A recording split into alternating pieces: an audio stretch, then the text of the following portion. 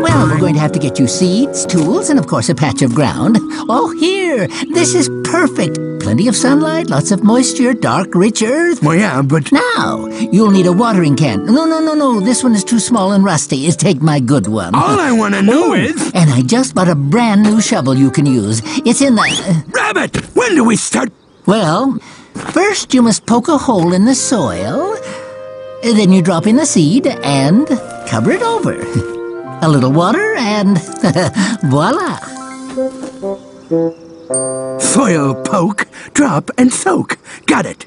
A boodle dee da, do do do. A boo boo diddly dee dee dee. Da boom, chicka boom boom, ha dee dee dee. Uh, uh. Tigger, what do you think you're doing? Planting a garden, just like you said. so now what, long ears? Now you wait for the seeds to sprout. Gotcha. So how long? What, two, three minutes? What?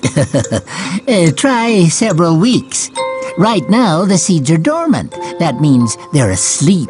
And it takes them a while to wake up. Oh, Asleep, huh? Oh, well, this ought to wake 'em up sooner. Every vine upon the wall to somehow learn to crawl by starting out real small with just a little pokes. You take it nice and slow and steady as you go, and soon you're ready to grow in huge amounts. On your mark, get set, now you better get growing.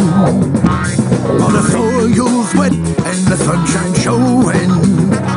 There's a time to reap and a time to sow, but no time to sleep.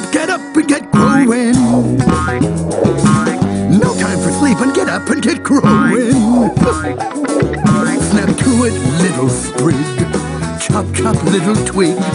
Are you ever, ever gonna get big without a wiggle and a bounce? Now the time is ripe, so you better get growing. You gotta earn your stripes while the pollen is blowing. There's a time to rake and a time to hoe. Little seeds awake and get up and get growing. Little seeds awake and get up and get growing. You try with all your heart, hey, you never know why even friendships can start to get growing.